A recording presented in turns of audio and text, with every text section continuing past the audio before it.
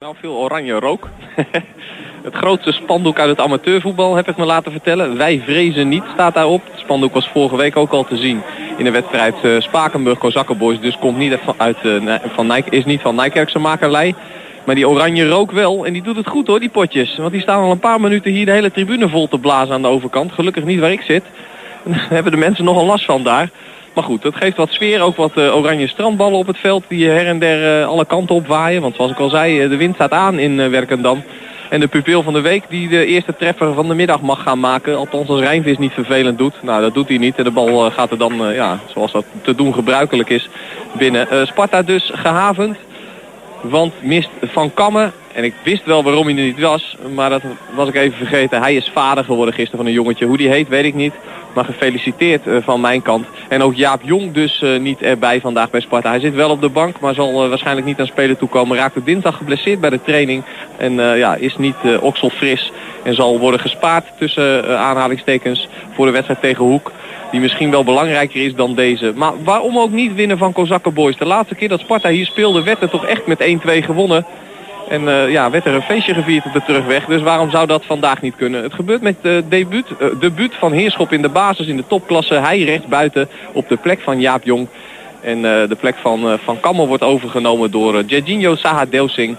Die dus eindelijk op zijn uh, favoriete positie mag spelen. Hij kwam in de winterstop over van Katwijk. Al was hij eigenlijk clubloos. Want aan het begin van het seizoen daar weggestuurd.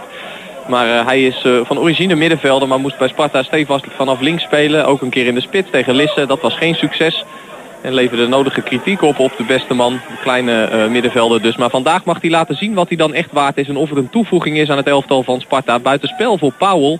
Daar wordt niet voor gevlacht. Nou oké, dan gaan we door met voetballen. Hij is wel ver aan de linkerkant verzeld geraakt. Helemaal bij de cornervlag. Probeert een corner uit te slepen. Dat lukt niet. En als Van der Meulen oplet, dat doet hij, heeft hij de bal. Maar schiet hem dan wat paniekerig loodrecht omhoog. Dan lijkt hij binnen te blijven, maar denkt Frederiksen, laat maar gaan die bal. Mag Kozakkenboys gaan gooien, doen ze dat aan de linkerkant van het veld. En is hij bij uh, de linksback Mohamed um, Hamouti. En die speelt hem dan eventjes terug naar de middencirkel. We zijn begonnen in Werkendam. Normaal gesproken zullen de mensen die gokken toch echt een eentje invullen. En misschien wel een eentje met een uh, ruime uitslag. In Nijkerk werd het 8-0 voor Kozakkenboys. Nou ja, zo bond zal het vandaag niet, niet worden. Maar het is uh, de zaak voor Sparta om hier zonder kleerscheuren vanaf te komen. Dan heb ik het over blessures en gele kaarten. En misschien wel te stunten. Want ja, waarom ook niet. Ik zei al, één keer gewonnen. Of één keer gewonnen. De laatste keer hier gewonnen. We hebben hier wel vaker gewonnen met Sparta. Maar in ieder geval, dat moet hoop bieden. En het gevoel van revanche leeft binnen de spelersgroep. Zij wisselspeler Danny Brouwer vlak voor de aftrap tegen mij. Hij zei, die jongens zijn gebrand om hier een resultaat te halen. Want die 8-0 zijn we echt nog niet vergeten. Nou, ik ben benieuwd of de Spartanen die woorden kunnen omzetten in daden. Voorlopig zijn we twee minuutjes onderweg. Is er nog niets noemenswaardigs gebeurd? Of misschien deze counter van Tervoet die je mee moet geven aan de snelle Pengel. Dat doet hij dan niet. Kiest voor de weg terug naar Muller. Dat was jammer, want er lag ruimte voor de snelle linksbuiten. Als je hem bedient, dan moet je hem in de diepte sturen. Maar goed, de bal is inmiddels bij Rijnvis. Zoals ik al zei, twee minuutjes onderweg. Niets noemenswaardigs gebeurd. Kozakkenboys, koploper, Sparta Nijkerk nummer 10, 0-0. 0-0 na 7 minuten. Wat opwinding zojuist. Powell buitenspel, niet gevlacht, dus mag door. En wordt vervolgens door Tim Kruks naar de grond geduwd. Dus strafschop, maar ook die kwam er niet. Dat waren twee fouten achter elkaar. Het resultaat is dat de bal niet op de stip ging. Dus dat het 0-0 blijft en dat de vroege voorsprong voor Kozakkenboys er niet was. Dan had de grensrechter opgelet. Dan had dat penalty moment er niet eens geweest. Want het was toch echt buitenspel. Dat kunnen wij toevalligerwijs goed zien omdat wij hier nu net een keer op één lijn zitten. En dan is het makkelijk oordelen. Maar dat staat de grensrechter ook aan de overkant. Maar die vergat de vlaggen. En dat levert dan uh, boelgeroep op vanaf de tribune richting scheidsrechter. Want die fluit daarna niet voor een strafschop. Wat het er wel een was natuurlijk. Want het feit dat je vergeet te vlaggen en vergeet voor buitenspel te fluiten... wil niet zeggen dat als er daarna een overtreding wordt gegeven... dat je niet meer hoeft te fluiten. Sparta heeft wel de bal met Frederiksen. Maar het duurt dan meestal niet zo lang voordat Sparta hem kwijt is. Zo ook nu, want de bal wordt onderschept door Kozakkenboys. En dan uh, kunnen ze in de as van het veld uh, stout vrij spelen.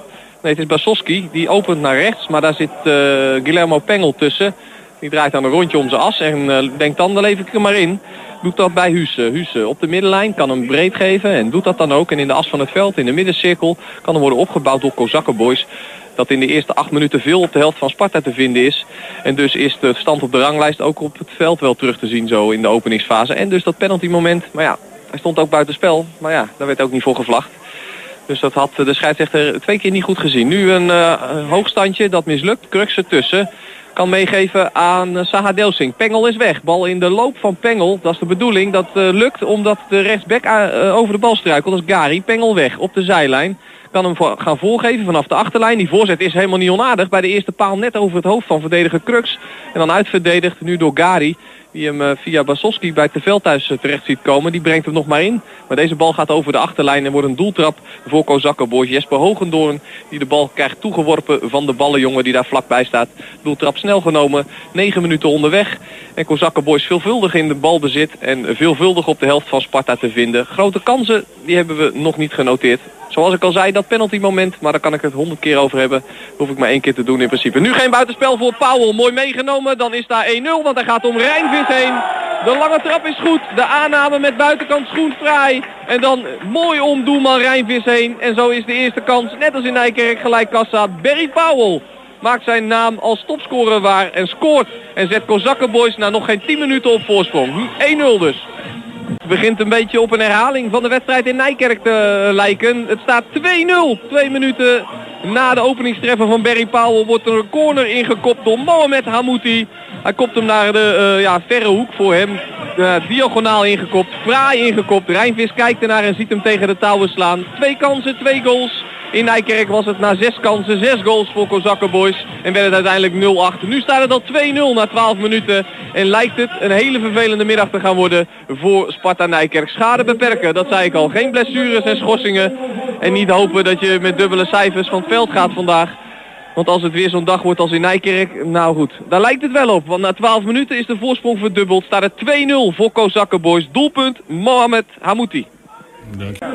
Yes, het wordt weer zo'n dag. Crux levert hem in bij Van Zanen. Die loopt alleen door en dan uh, pakt niemand hem aan en schiet hij hem diagonaal langs Rijnvis. Na 9 minuten was het 1-0 Powell. Na 12 minuten uh, of, uh, ja, Hamouti met 0-2 of 2-0. En het is inmiddels al 3-0.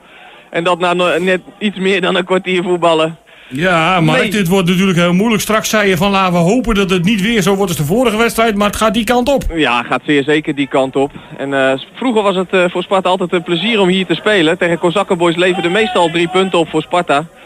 Maar dit seizoen niet hoor. 8-0 verloren thuis en nu na een kwartier al tegen een 3-0 achterstand aankijkend. We kunnen eigenlijk wel naar huis, want die wedstrijd hier is gespeeld. Yes, het is 4-0. Een vrije trap op de rand van de 16 wordt toch Van Zanen hard met zijn linkerbeen richting het doel van Rijnvis geschoten. Er zit nog een voetje van een verdediger van Sparta aan, waardoor die uh, van richting verandert.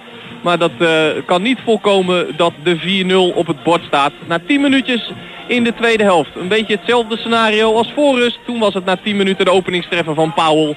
Binnen 5 minuten toen drie doelpunten. Laten we hopen dat de schade wat dat betreft in de tweede helft beperkt blijft. Maar ook na 10 minuten in de tweede helft wordt er gescoord door Kozakkenboys. 4-0 is de nieuwe tussenstand. Mark.